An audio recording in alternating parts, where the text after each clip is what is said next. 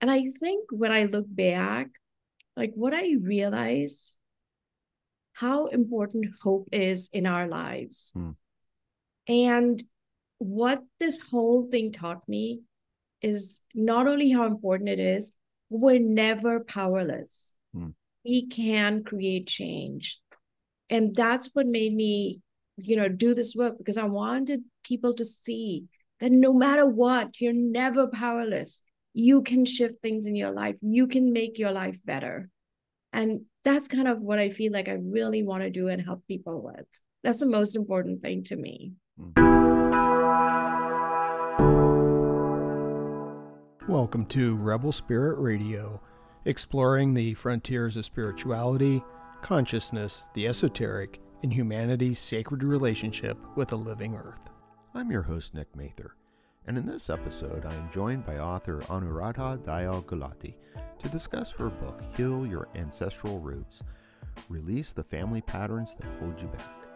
Anu discusses trauma as an unprocessed story, how emotions are a portal into healing, family energy fields and family constellation work, and the power of hope and grace in freeing yourself from family karma.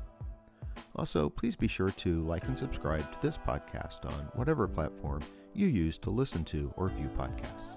Your support is truly appreciated. Greeting, Rebel Spirits. Before the interview with Anu, I wanted to let you know about a couple of upcoming events. First, I will be presenting again during this year's Re Becoming the One symposium. I was really honored to participate last year, where I offered a presentation on witches, science, and the Inquisition of Nature. This year, my presentation is on the divine masculine and is titled The Call of the Diamond Tending the Wild Genius.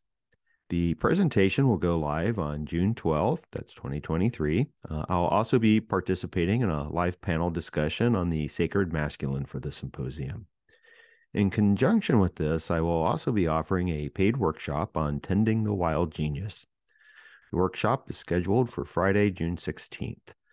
For more information on the Rebecoming the One Symposium, go to livingtheonelight.teachable.com. I also wanted to let you know that the second episode of Cocktail Apocalypse will live stream at 11 a.m. Pacific time on Saturday, May 13th. Stephanie Bidet and Jeremy Anderson will join me again for another round of all things apocalypse. In this episode, we'll be discussing the book of Revelation. And once again, Jeremy will offer a special drink recipe designed to get you through the end times. So I hope that you can join us. Uh, again, that's 11 a.m. Pacific on Saturday, May 13th. And now, my conversation with Anu Dayal Gulati about her book, Heal Your Ancestral Roots. Anuradha Dayal Gulati is an energy practitioner and transformational coach with a PhD in economics.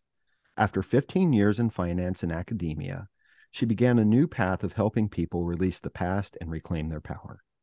Trained in flower essence therapy and family constellation therapy, she lives in Boston, Massachusetts.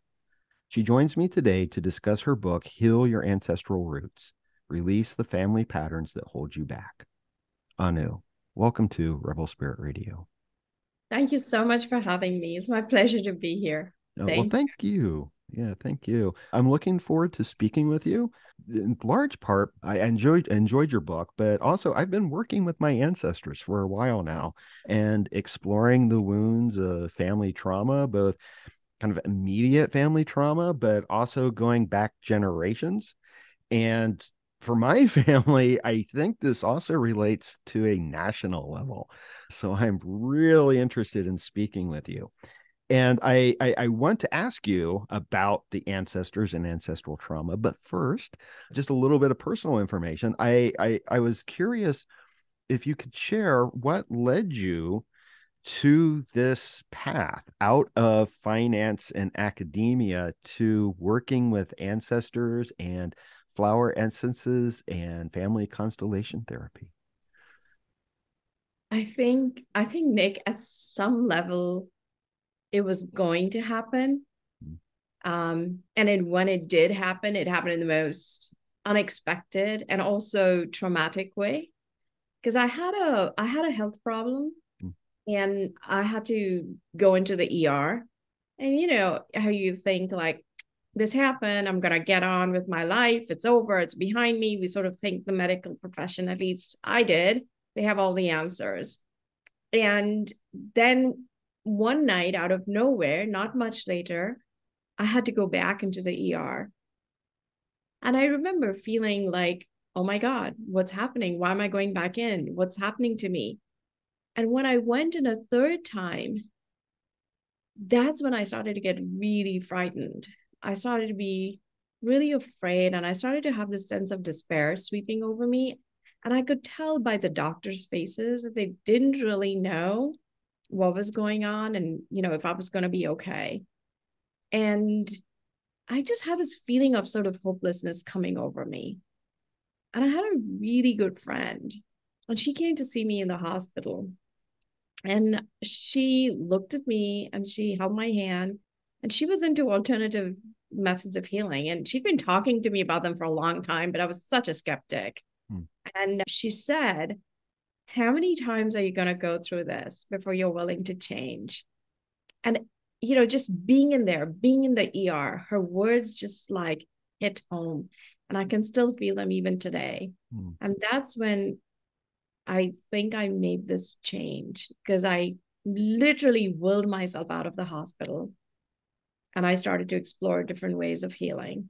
And I discovered this amazing Chinese medicine doctor and I found flower essences. And those two things together started to change my life. And I think when I look back, like what I realized how important hope is in our lives. Hmm. And what this whole thing taught me is not only how important it is, we're never powerless. Hmm. We can create change. And that's what made me, you know, do this work because I wanted people to see that no matter what, you're never powerless. You can shift things in your life. You can make your life better. And that's kind of what I feel like I really want to do and help people with. That's the most important thing to me. Hmm. Yeah. Well, I, you know, I, yeah. Yeah, I applaud anyone who is working in healing the world and healing the individuals within the world because I think that that's the work that needs to be done right now. And I, I like that message of hope because I think so many people feel hopeless and powerless right now. So yeah. I think that's a key. Yeah. I think that's yeah. a definite and key. It's so much of what we pick up from around us. Yeah. You know, to to lose hope. Mm-hmm yeah it's a tough world. It's it's a tough and often unforgiving world right? And so having some hope i think is uh, massively helpful. And i think that these are some things some themes that we'll come back to discuss but i want to get us there. So let's begin with the core of the book with our ancestors and ancestral trauma Mm-hmm. And I, I thought that I would probably begin with ancestral trauma. How can we tell? How can someone tell if they are suffering from ancestral trauma? So the trauma exists in the subconscious, but let's see what's happening in like what we may or may not be fully conscious of, but at least mm. is in the periphery of our consciousness. Mm. We start to notice things that repeat in our life. Mm. Whether it's in our relationships, whether it's professionally, whether we get the same kind of bosses or the same kind of colleagues, uh, you know, workers, co-workers, or whether we're starting a business and you know something is always making it fail. Those are patterns that are repeating in our life. And if we start to look or we start to think, we start to notice that there are patterns that repeated or ran as themes in our family so that's how um, the the past is making its presence felt. I think another way is when you feel like you're doing your best, you're trying to get something off the ground, you're trying to find a relationship, you're trying to, you know, have professional success, financial success, and you work really hard at it, but something is out of reach, then that's another sign that, you know, your ancestral life is your ancestors are affecting you. And I find like the last one that I find, which I find, which I see when people come to me, is they are working really hard to repair their family relationships. And they sort of get a little frustrated with it. They find out they're not understanding why am i the one doing it? Why am i the one making all the effort? But actually i've come to realize like they are the healers in their family. Mm. they're the ones who've taken on this really sacred task and they don't actually know it so you know i want i want i hope that those who are listening and who feel like they're the ones who are doing all the effort like that is an important task that they've taken on and this is the way in which you know all of the stuff from the family lineage which is unprocessed is making its presence felt because trauma is really the unprocessed story mm. of unresolved emotions losses all of that that's making its presence felt for healing. For mm-hmm. healing to happen.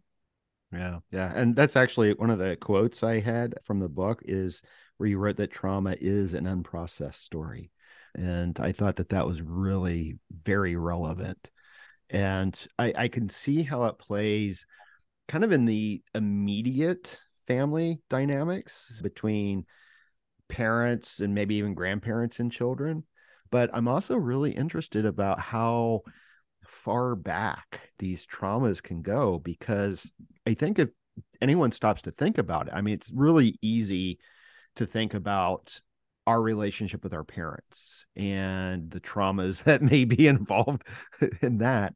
But then you can say, well, okay, yeah, um, they were also traumatized by their parents, and their parents were traumatized by their parents, and it just is this chain. And one of the things I like about this thinking about the roots of trauma in our ancestries and with the ancestors is it for me it reminds me that we're all interconnected. You know we are interconnected to this chain this ongoing chain that seems like it has to affect us one way or another. Yes and i think you know definitely we don't always know what happened before us because sometimes we might find that there's a parent or a grandparent who doesn't speak about it. Mm, yeah. And so stories get lost the trauma gets buried. Mm. it's not verbalized. It makes its appearance felt in many different ways but it's not really verbalized. And I would say even for myself, I didn't know my grandfathers. I cannot tell you my parents' history beyond like my grandfathers, my grandparents. I have snippets of it, maybe one or two, but very little. So, how do we know what the trauma was? And I think we may never find out, but a lot of traditions had a way of dealing with this ancestral trauma, which was by honoring the ancestors. Mm. So you kind of make peace with the past. You don't go searching for it, you don't go looking for it because you don't have access to it but honoring your ancestors is sort of their way of saying you know this is how they were mm. we can't change them we sort of accept this is what it is and let go of our expectations of them mm.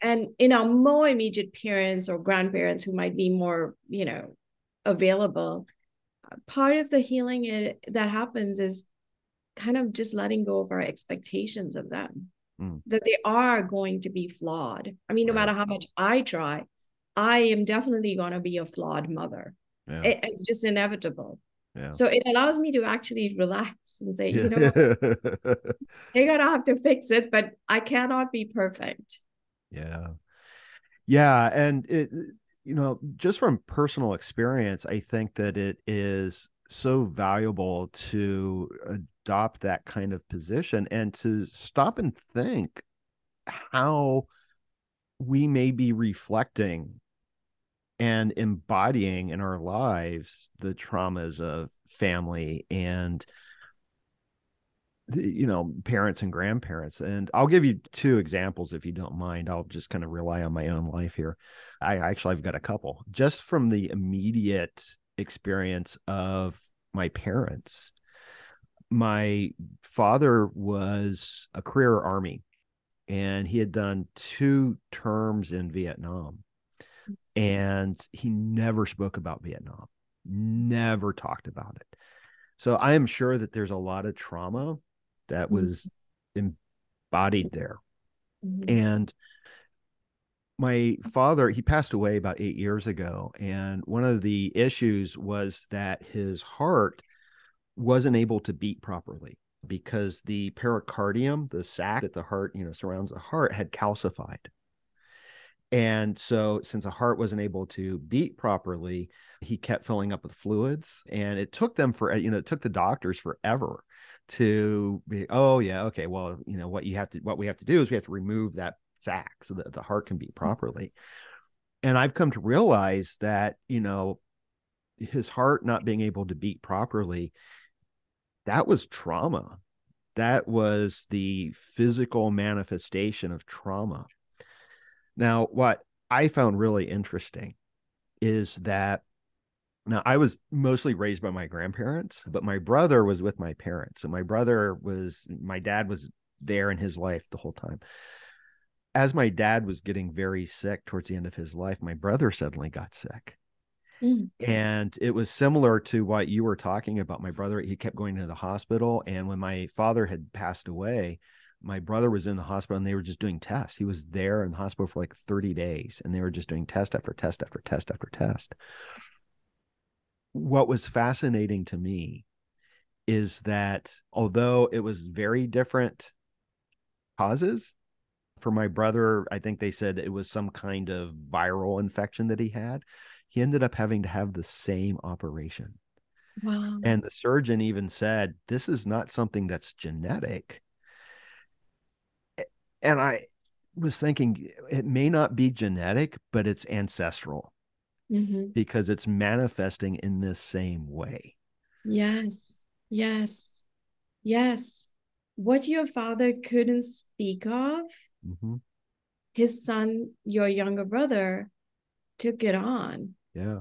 We take that on. Yeah. You know, if you just think about your father's story, there are so many emotions that probably just overwhelmed him and he couldn't mm. like express them and the heart which is really in some ways the organ of sense perception like we see with you know seeing with our heart but then it goes it's like we put it behind bars mm. because it just cannot deal with everything. And how do we soften the heart? How do we mm-hmm. allow it to come out? How do we allow the tears to flow? You know just allow ourselves to express and be vulnerable. And you know we we already talked about this earlier like you know the messages from society emotions are not okay. It's not okay right. to feel. You know you should have got over it i mean vietnam was so much so long ago. He should have got over it but there's no getting over. We don't really get over.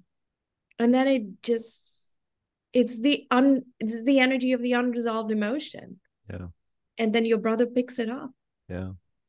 And yeah. I, I hope he's healed and and okay now but you know so much of it is like processing what yeah. couldn't be processed then. Yeah, yeah yeah i don't know i i see with him as a father now and his children are getting older, I can see it also manifesting there. And, you know, I have tried to say, you know, I know that there's a connection between what my father experienced and him. And now I can see it with his children. And my brother, I don't know, is quite open to that yet. And I can say, even though, you know, I always felt that when my father passed away, I felt like we were in a good place.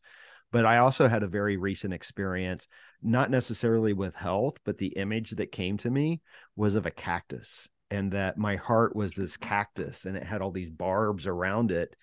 And mm-hmm. I understood that, you know, these spines and the barbs were there to protect it, but it also confined it. And mm-hmm. that what my journey is, is to kind of start removing all those those things to allow my heart to grow and i see that as part of my ancestral work but it seems to me that you know and i don't want to claim any kind of special knowledge here but that often people don't see these connections yeah. is there a way to help people make these connections and start in this healing process so I think there's two, three things, you know, given what you've said.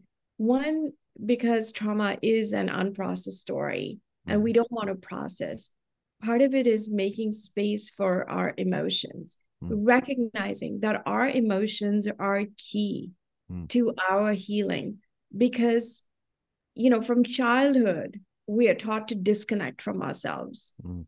You know, don't don't feel this way you know don't feel too much you're too emotional you're too sensitive get over it don't bring your emotions to work. It's like as if everything about our emotions is sort of sort of wrong. Mm. and then the other piece of it is if we allow ourselves to reconnect with ourselves we have to reconnect with our emotions. Mm. and we have to recognize that the emotions are a sort of portal. Mm into healing. And a lot of times, you know, there's a whole spectrum of emotions. And the University of Glasgow, they said, you know, look, you have fear, anger, sadness, and joy, the, the four primary emotions. A lot of times we're in those, you know, three of those four, right. and we're cycling between those. Mm. So how can we, you know, and, and then we search for joy, we search for mm. happiness, but we have to hear what is the message of disconnection you know mm. of those and the one you know that that really speaks to me is jealousy mm. because you know when someone we say oh my god she's so jealous but when i think about jealousy it's like there's something perhaps that you want that you can't get mm. there's something perhaps that you tried to get and you know that that's never going to be part of your life so there's sadness there's bitterness and maybe there's some fear you know all of us at some level all of us have cactus hearts. All yeah. of us do. And we it's it's a you know the more we connect with ourselves the more we realize we don't need to search for this outside. I can give myself the compassion. I can give myself the acceptance the acknowledgement the validation. And that allows us to open our hearts because we stop expecting it from outside because we can give it to ourselves. So the the negative emotions are really where we've disconnected from ourselves. And the more we reconnect with ourselves the more we can move into the spectrum of you know the peace the contentment the harmony like more of the positive emotions start to enter our lives the feeling of confidence mm. trusting ourselves. They start to come back because they were always there. Mm. we just lost them. And you know, if I can add one more thing that I want to say is that, you know, when trauma happens, what happens is it's not that love is lost, it's the expression of love that is lost. Mm. The softness in the speech with our children, with our partner, the allowing them to be who they are. The, you know, it the expression of love when it gets lost because of fear, insecurity, whatever else, then it shows up as like control. You got to do what i have to do. Like not expressing love. Mm. and that's what gets passed down from one generation to the next is this patterning of how love is expressed. Mm. yeah. Yeah i can i can definitely see that. So if i understand what you're saying is that with some of these core emotions let's just say anger Mm-hmm. If someone has these feelings of anger all the time, and you know, from personal experience, for me, it's kind of frustration. And I always make a distinction between anger and frustration, although I know that they're closely related.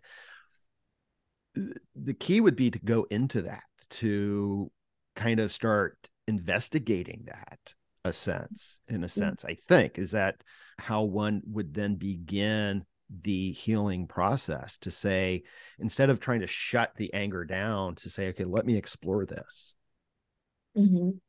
yes it's it is and uh, and i think eh, one is the exploration of it you know what is it that is mm-hmm. causing me to feel this way and there are so many things because there's so much in our belief system that mm-hmm. causes mm-hmm. us to feel a certain way but you know this is why i think there's so many tools also that that we are now becoming aware of of expanding the emotional range mm. and journaling is one of them you know daily journaling is like i feel like one of the cheapest ways of expressing ourselves And journaling, journaling allows the emotions to get from the head into paper. And so there's a calming effect there. Taking a walk in nature is another one, exercising. Uh, those are ways of like t- shifting the intensity of the emotion. Because think of emotion as energy in motion. Emotion needs a place to go.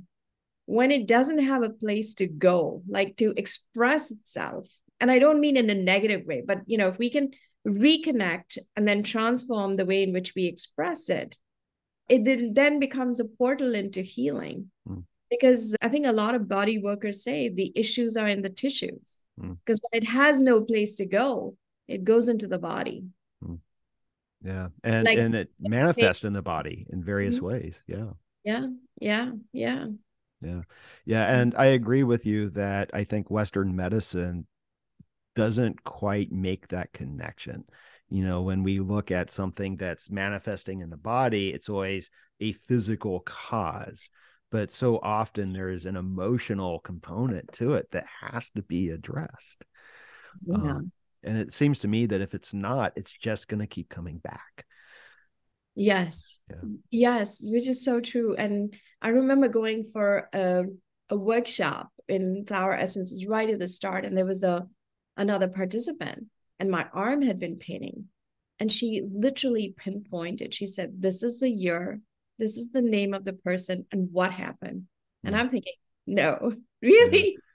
And you know she was like let go and i had to let go of the feelings of resentment mm-hmm. and anger and yeah. sort of allow something different to take its place and it, you know it wasn't easy and she worked with me and it took several tries but then i could feel the pain in my arm shift mm. so it's really interesting how much of the emotion just settles in the body yeah yeah yeah that it reminds me of something that i've recently been going through and I make a connection to Colorado because it started for me back in 2019. I drove for too long coming back from Colorado and I meander. So I very rarely take direct points on the interstate. I like to get off the roads and I'm usually going through Diné territory and northern New Mexico and Arizona. And I just kind of wander around in the mountains and in the desert. And I started feeling this pain in the back of my shoulder and in my arm. And I consider Colorado home. And whenever I show up, you know, when you show up on the interstate, they have a welcome to colorful Colorado sign. And I just start sobbing as soon mm-hmm. as I mm-hmm. see that. And when I leave, I'm always kind of like crying for a few days. And what happened was, I'll keep the story really short, is I had been a finalist for a position at a university in Denver where I used to work. And I didn't get the job. And two days later, this issue in my back started up again. And I was certain there's a connection. There's a connection there. And it went on for months. And I was seeing an acupuncturist. One of my best friends is a wonderful massage therapist. Mm-hmm. And I started doing yoga every day. So I was getting it healed. But I was at this retreat, and one of the facilitators there was also a massage therapist. And she got me on the table. She's like, You're carrying so much tension in your body and she saw she found that knot because that's what it was it just felt like a constellation of knots and what she did is she's like oh well who's this i'm like oh and i kind of gave her that story and what she asked me and this is what you were saying kind of reminded me of this she said well what's its name i'm like well i never named it she goes well if you don't name it if it doesn't have a name how can you ask it to leave Wow. So I actually named it and I have a very specific name for this. and I started like, you know, get out. you know, go in peace, go in compassion, but get out. And it worked. It's gone. Wow. Oh, I love that story. I love yeah. that story. Yeah. Yeah. Yeah. yeah. So. I, I, so the body is the unconscious mind, right? Yeah. And you know, we think we're operating consciously and there's our body and if we were to think of our subconscious who knows what kind of big huge uh, monster fully yeah. formed is roaming wreaking yeah. havoc and we yeah. don't know yeah yeah well and something else i wanted to ask you about here is that these because I do want to ask you about the family constellation therapy, and we'll talk a little bit about the flower essences as well. But something that you write is that the family is an energy field. And I really liked that idea because, again, it is an expansion from the sort of Western medical model of things. And it's, you know, yes, there's the bodily aspect, there's the genetic aspect with families, but it, it families have a collected energy what came to my mind when reading this was the work of Rupert Sheldrake, where he talks about morphogenetic fields. And that's the way I was thinking about it. It's like, yeah, that makes sense that a family lineage is going to accrue a kind of energy, an energy field that we are all embedded in. Am I getting that right? Yes, yes, yes. And so, you know, we are trained to think nuclear family, parents, grandparents. But it's like we have other family members who affect us. Mm-hmm. And one of the things I also discovered when I was doing learning or studying this ancestral healing work that our family, you know, it, it includes those whom we've harmed, those who have harmed us. It's like mm. bigger than we feel. Mm. Yeah, it, it is, you know, intellectually we think this is it, but no, it's a lot of people. Mm-hmm. It's a lot of people. Yeah. Um, and I, I can see how that plays out in a variety of ways. I'll come back to that. I don't want to take up all the time talking about my family.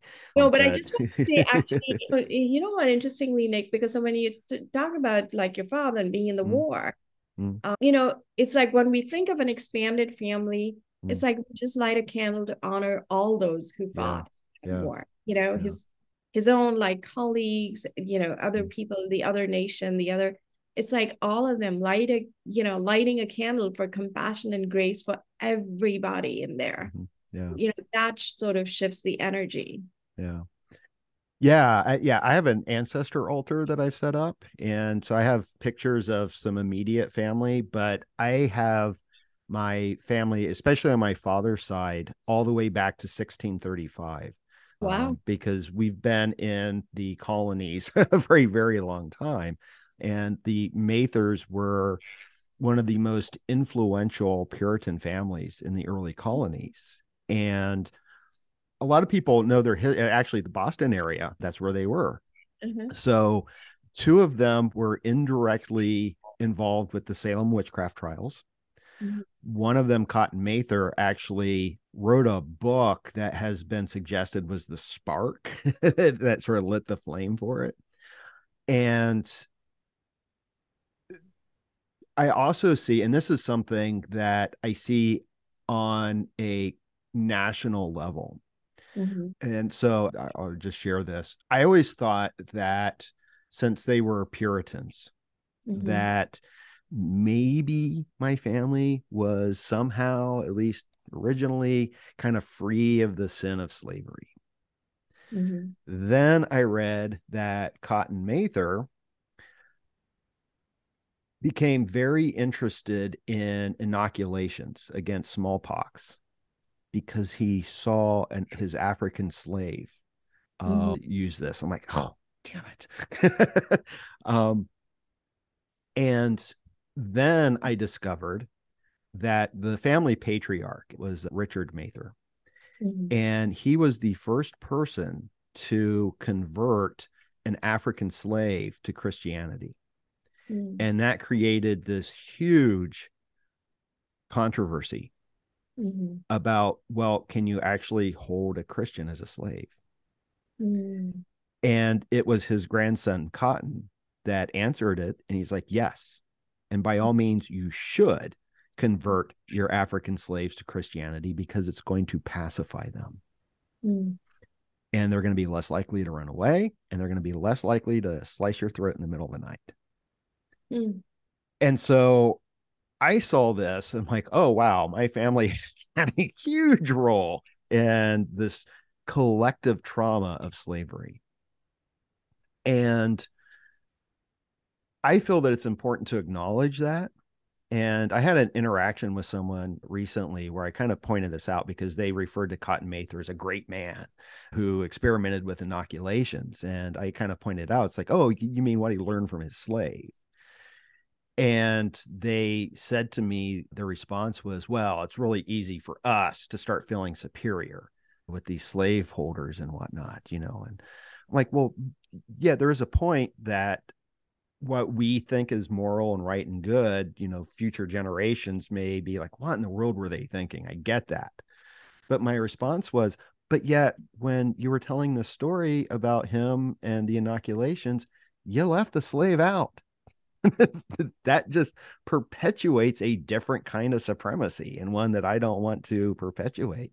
So I see ancestral healing as being relevant not just for me on a personal level with my family but also collectively at a national level. And i would imagine that everybody has to deal with these sorts of things in some way or another. Yeah I think everybody has to because no family is without what's happened before. No mm. family is without its share of secrets. And you know, in seven generations, 1635 is I don't even know how many generations, but in seven, nine or ten, yeah. Oh, so in seven generations, we have like 252 mothers and fathers. Wow. So in 20 generations, we have about a million. Wow. So imagine when we're born, like 256 chapters have passed mm. nine or ten generations is like so many more yeah and there's nothing that we can do to change that mm. there's nothing that we can do to fix what happened but we can only stand in the present mm-hmm. and shift how we see the world yeah and you know lots of acts of compassion of generosity are are similar across all traditions because mm-hmm. that's a form of healing in the present yeah and you know i mean if you just think about all the ancestral stories that you shared and you think of what you're doing today pointing out similarities across religions pointing mm-hmm. out like teaching comparative religions like exploring myths you know you drive through areas where the DNA was like, you know, look mm. at what, you know, how far you are from from you know 1635 and what right. came after in some ways this is how the ancestral field is wanting healing to happen mm. this is how because it, and in a lot of traditions it's believed like our ancestors souls like in, you know, including our souls when we die, because one day we will be the ancestors. They need to evolve and their evolution, they want to make amends, but they cannot make amends. They can only do it through us. Right.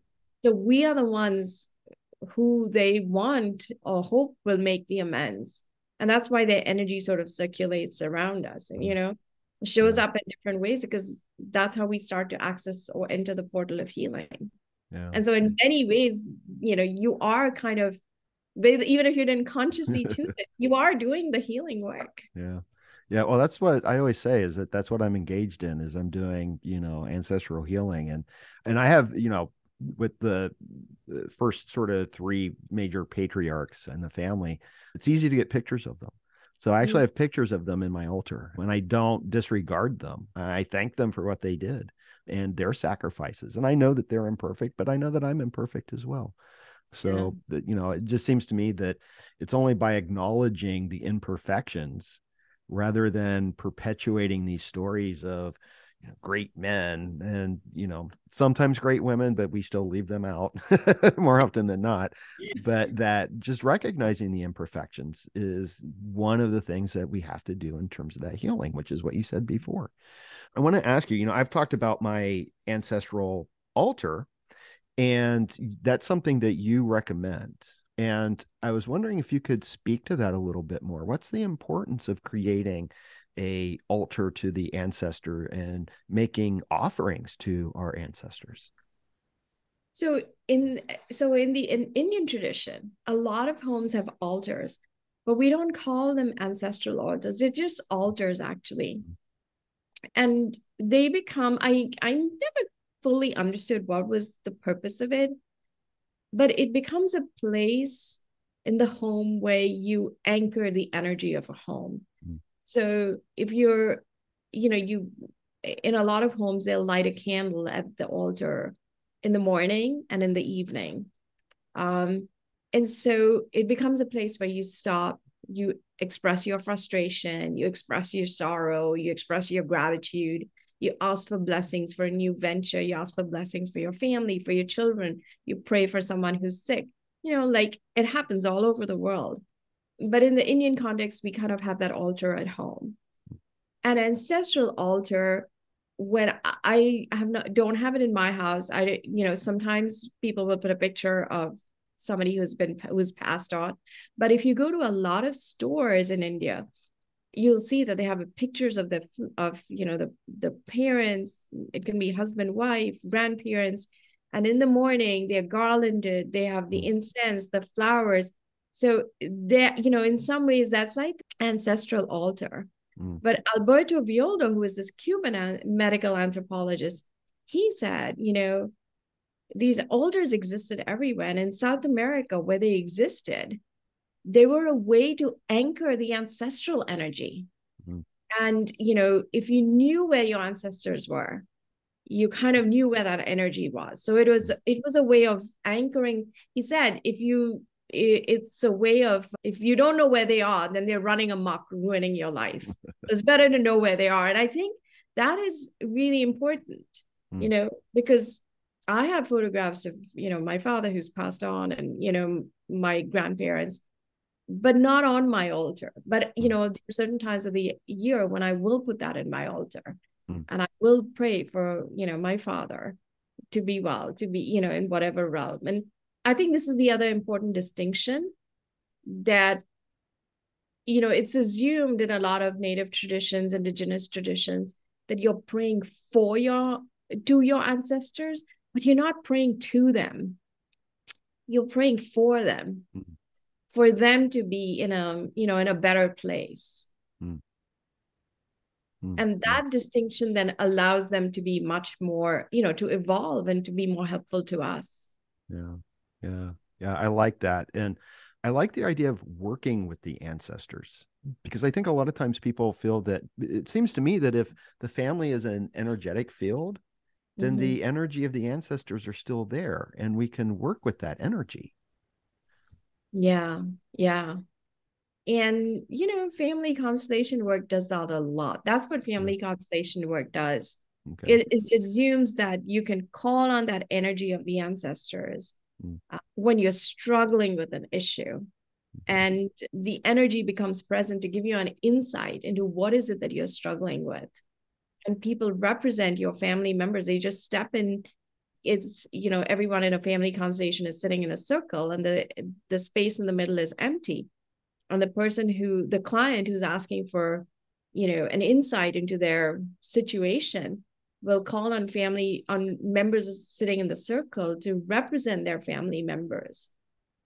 And as soon as they step into the circle they take on the energy of that family member. Hmm. And you can be like i don't believe in this you know i don't i'm not into any kind of this work. But it's just unbelievable how you start to feel what they might have felt. Your whole hmm. body the way you stand sit your posture everything starts to shift mm. and so it sort of gives an insight into that situation that could have caused your current situation.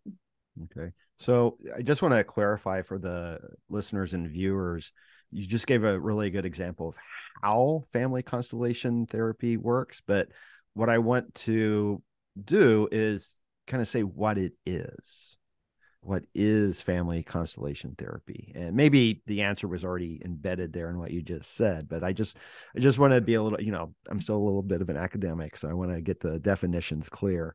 Is it just re- recognizing the way that these family energies affect the individual and then attempting to identify them? Or uh, what am i missing? How would you define family constellation therapy so it's hard it's hard to define it okay. it's easier to almost explain it which is okay. kind of what i was just doing okay all right um, and what it is is it allows people a window it's a form of energy work mm. so through that energy work you are given a window into a slice of your family history that that is affecting you today. And that's really what it is. And that's what family constellation therapy is. It's called therapy but it's really a form of energy work. Okay.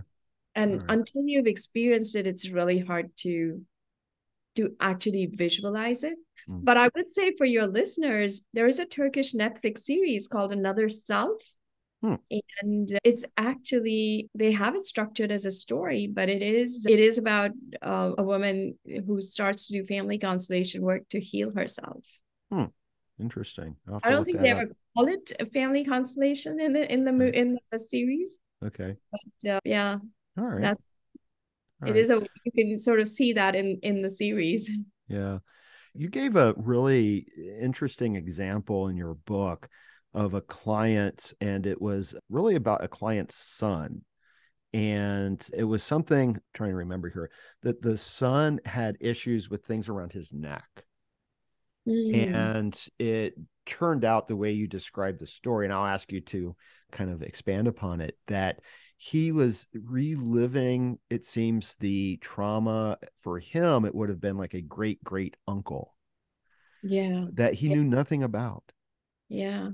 Who yeah. was hanged. Yeah. Yes. Yeah. Yeah. Could you maybe share that story a bit?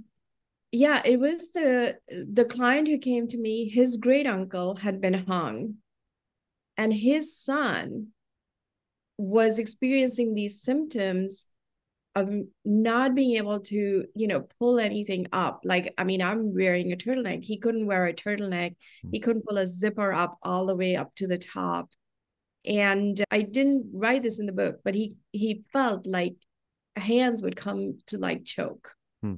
he had the sensation of like something pressing on his neck hmm. and he couldn't you know he he the child didn't know why this was the case but just didn't want to like have anything around his neck and then when the father talked about it and we talked about just honoring remembering you know this great uncle. Mm. and it started to help the boy. Mm. and he could actually you know pull a zipper up. That was the interesting thing to me. You know yeah. he could pull the zipper up. Yeah. Now when i read that the note that I made in the book, I, I wrote all over your book, by the way, was reincarnation. Because that's the first thing that came into my mind is that well maybe the great great uncle has reincarnated into the family uh, you know it's a possibility and i yeah. i don't really go into reincarnation right.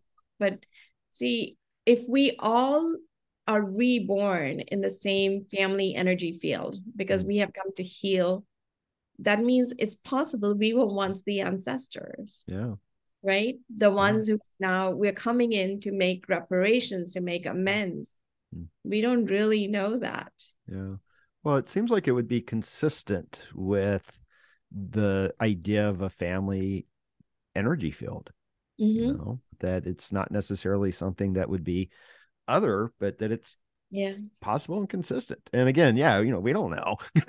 but, yeah. Yeah. yeah. Yeah. Yeah. And you know, once you start doing the work, it's interesting how much information starts to come. Mm, yeah. Yeah, and I also liked how you had you said that when you start doing the work and start healing that like synchronicities will start occurring to sort of let you know that you are on the right path that healing is happening Yes, absolutely true. I was running a workshop a few weeks ago, and there was this eh, this this woman. I mean, she, you could see she just had this lovely soul, mm. and she kept saying, "You know, I'm crazy. You know, my family says I'm crazy," and and it turns out that yes, she had gone through a lot, but she had you know gone back to her church. However, she chooses to practice her faith and she had reconnected with her mother's sister. She had reconnected with some cousins. and she had gotten a photograph of her father who had died when she was very young so you know these little things you don't actually notice them but when you start to see that this is something coming from the family energy field then it really takes on a lot more meaning because it means you're on the right track. You're doing the right work. No matter if anybody is telling you oh you're crazy you're this you're that uh-uh. It's that's not you know that's not true. Because yeah. you are doing the work and this is the healing and reclaiming your power is i'm not crazy yeah i am doing this work and these are the signs that i'm on the right track mm. so along these lines with you know these synchronicities and the family emotional field and energy field it seems like there may be as well a connection and you do address this and i actually like what you wrote but i want to ask you about this that there is an aspect of karma that's at play in all of this. But what i liked is that you you make the argument that karma is not passive that too many people have this idea that karma is something that happens to them and there's no escape from it. But you don't take that approach. So could you speak a little bit towards karma and these energetic fields and how we can not be victims of our karma yeah you know there's an african proverb that says which i really love it says when you cut your chains you free yourself. Mm. And when you cut your roots, you die. Mm. And I think what it really means is karma is, you know, whatever is happening. We free ourselves when we let go of the conditioning, we let hmm. go of our expectations, our, you know, our beliefs that this is right, this is wrong, like all of that, which is conditioning, how things should be. And when we start to reclaim our power, then we're no longer victims of what happened before. And mm. that's really what healing is. Ancestral healing is really letting go of the feeling that you're a victim of what came before. And in family constellation work, they say only an adult can leave the family of origin. And what we really mean is an adult is someone who has taken responsibility for his or her life, mm. for their life they can leave the family of origin. So mm. anytime you let go of victimhood, you're actually free. You need to do nothing. Mm. You're free. You don't even need to do any work with the ancestral because the past casts does does not cast a shadow on you. Mm. You're free of everything. Mm. Yeah, I like that. And so much of what you say, I appreciate because it's it gives the individual agency mm-hmm. and there's a responsibility for self-reflection and self-examination yeah yeah and that's and i i honestly do feel like even if karma is you know exists in so many religious traditions and you know we the that you sow what you reap but there is infinite grace mm. and it shows itself up in these synchronicities mm. in little synchronicities and that's when you know that you know you're also being taken care of yeah in the yeah. hardest moments there is still a ray of hope yeah. a ray of grace that is yeah. making presence felt we just are not trained to see it yeah yeah yeah coming back to the hope. But i like that i like that combination of karma and grace and, and the importance of hope uh, and the connection with power because that's what we need. We need to feel our power feel you know i i typically kind of express it as our creativity uh, mm-hmm. uh, but i think it's maybe it's the same thing our power and our creativity because i think that's what we're meant to do is to be creators you know? Yes yeah yeah. yeah, yeah.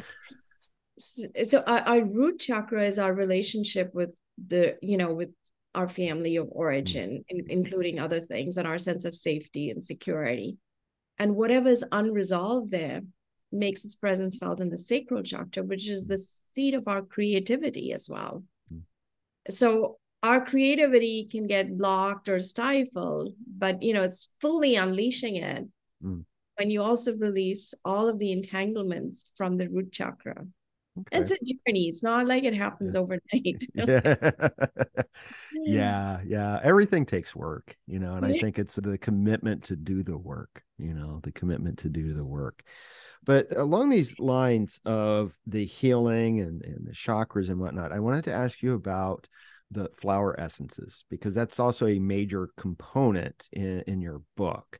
And I was wondering if you could explain to the audience what the flower essences are and how they can help in this healing process.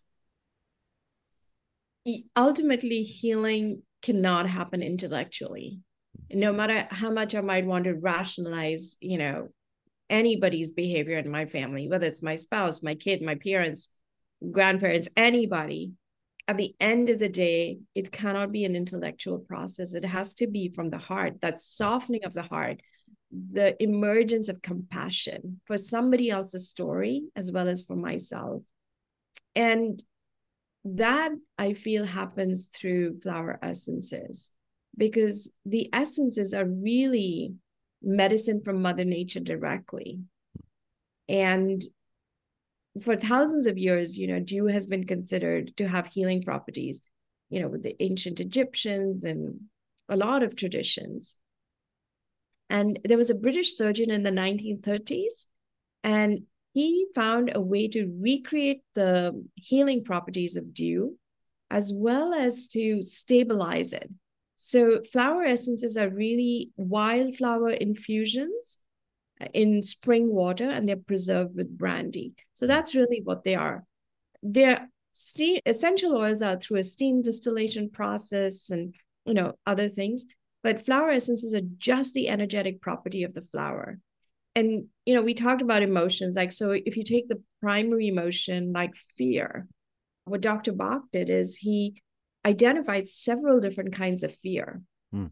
So the flower essences, you know, target all the different kinds of fear, you know, that paralyzing fear, the fear of like insects, the fear of flying or something you can speak about, the fear you can't speak about, the fear for your loved ones, you know. So there's different kinds of fear. And so the flower essences act on the nuanced energy of those emotions because those emotions reside in the body and they reside in our energy field. So the flower essences lift and shift the the thoughts that are causing those emotions. And you know, you can see your response change after taking it for a while. Yeah. So they work on a vibrational level then? They work on a vibrational level. Yeah. Okay. All right. Yeah, I it was recommended to me back in November uh, to uh, the way it was expressed was it, there was a recommendation to work with flower essences but they the person also said plant medicines. So I actually have I'm not going to show the label, but I actually have here some flower essences. I haven't taken them for about a month now because I ended up doing a different kind of plant medicine regime and I wanted to just allow that to work without any interference. But as soon as I can, I'm going to try these again. You know, because my approach is, you know, I don't know, but you know, there's no harm in trying and seeing what happens, right? Yeah. Flower essences have no side effects. Yeah. They can be taken with other medications because they're just vibrational. Yeah, yeah. So in that sense, they are very safe, non-toxic, uh, and they work very gently. Mm. And they're designed to restore, you know, our connection to ourselves. So restore that sense of internal guidance that trusting of ourselves. Mm. Yeah. And these are readily available at like some health food stores and I, I would yeah. imagine. Yeah.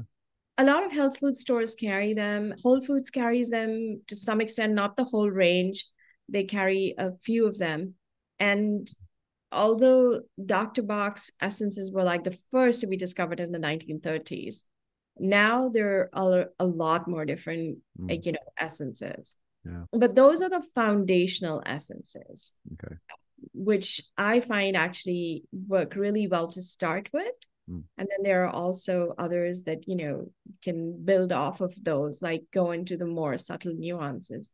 Mm. But I find that those are, they do a lot yeah. Uh, as a set of foundational essences, they are capable of doing a lot of mm. creating a lot of transformation. Yeah, and you include a lot of the essences in in your book and what how they can help and what they can be used for. So yeah. just for anyone who's not familiar, these are things that you would put like drops in some just basic water and sip the water throughout yes. the day, right? Yeah. Yes, yes. Four drops, four times a day, you know, once when you wake up, once before bed, and twice in between. Okay. So, all right. Yeah. And I think for the twice in between, a lot of times, you know, I would just put it in a water bottle or something. So then I don't have to think about it. Yeah. And yeah. I get the doses during the day. Yeah. Yeah. I think I did mine wrong. I was doing 16 drops all at once. uh, uh, so maybe I need to spread them out. I suppose. Yeah, it's a kind it, because it's a frequency vibrational medicine, you need to take it at least four times a day. More okay. is fine. It doesn't right. have an all issue, right. but at least four. Okay. Well, it's probably good then that I took a break so that I could speak with you and get that correction. yeah. Um, and uh, but yeah, I'll I'll I'll finish the bottle I have and see what happens. But I need to wait still another week or two because I want to allow the vibration of the other plant medicine to fully work its magic on me. Yes. So, so Let me know that. when you start them and how you feel after that. Yeah, yeah, I will. I will. So I think that this leaves us in a pretty good place. I like your message of hope and power. And is there anything I'm missing or any recommendation that you would give to someone who feels like maybe they need to start investigating their family, their ancestors, and the role it may be playing in their lives and their unhappiness because the goal here is to be joyful and to be happy. So what what would you recommend for someone to start in this inquiry? I think if you just simply start with where you are because you can only start where you are. Yeah. So if there is something that is really upsetting you, you know, what is it? Is it uh, something to do with work? Is it something to do with a relationship? And then look and see is there a pattern mm.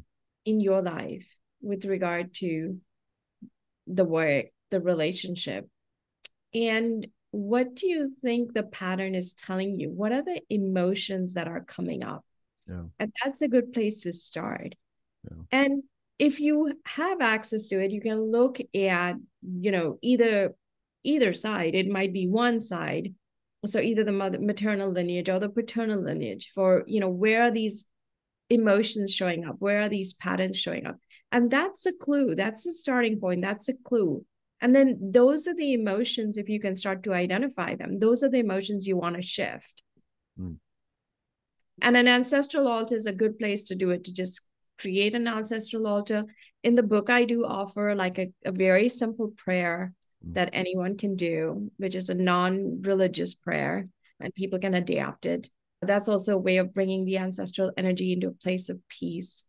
But these are just ways of like calming the energy field. And ultimately, you know, drawing on the energy of Mother Earth, eh, Mother, Mother Nature, because mm. Earth is like really the true mother, the mother of all mothers, the mother of all hmm. fathers. Right. And we forget that she's the one who really nurtures us. Yeah so just being out in nature is also like the more we ground with the nature's energy and receive that mothering energy the more we can sort of start to enter that space of connection yeah. and belonging. Yeah yeah yeah. No i advocate for that all the time. Go out into nature. And in the prayer that i do i also do a prayer not just for my ancestors, I always kind of phrase it named and unnamed because there are so many that we don't know, but also ancestors of land and ancestors of place, which I think gets into the mother nature and the connection to the land, I think. And then I also, my human and non human ancestors, which I think gives me a connection in that recognition that everything is my ancestor. Well, that is so beautiful. Yes, because you know we belong when we start to recognize that this is all that we are connected to all of this yeah. around us yeah Yeah. So I have I have some of my former kitties in my in my ancestor mm-hmm. altar. Mm-hmm. you know, it's like, yeah, they're kin too. They're kin too. Yeah. Um, yeah. Yeah. Yeah. All right. Well, Anu, thank you so much for taking the time to speak with me. It's been an absolute delight. And I do recommend that people pick up a copy of your book. I think there's a lot of good wisdom and guidance in it, and that people will really find it helpful. Thank you so much, Nick. Thank you. It's been my pleasure to speak with you today. Thank you so much. Okay. Well, thank you. Okay. And that's a wrap on episode 79 of Rebel Spirit Radio. Thank you so much for listening or watching if you're part of my YouTube audience or view this on Spotify. If you like what I do here on Rebel Spirit Radio and would like to support my work, then please consider becoming a patron. You can find the link for the Patreon in the show notes or video description. And of course, if you'd rather uh, make a one time donation, you can still do so via PayPal. I will be tremendously grateful for any support you can provide. And another way that you can help the podcast is to share it with your friends, family members, coworkers, anyone that you think would be interested in what I'm doing here. And also, please share it on social media as well. That really is one of the best ways that you can help support the podcast. So if you feel moved by the rebel spirit, and I hope that you do, um, please help me share the good news. Also, if you enjoyed this podcast, please make sure to give it a positive rating on whatever platform you use to listen to or view podcasts. And please subscribe. For those viewing on YouTube, please give this video a thumbs up and subscribe to the YouTube channel. Make sure you hit that notification bell so you will be informed when I upload new content. I'm Nick Mather, and you've been listening to or watching Rebel Spirit Radio. Until next time, may you be in peace, may you flourish in all possible ways, and may you continue to nurture your rebel spirit.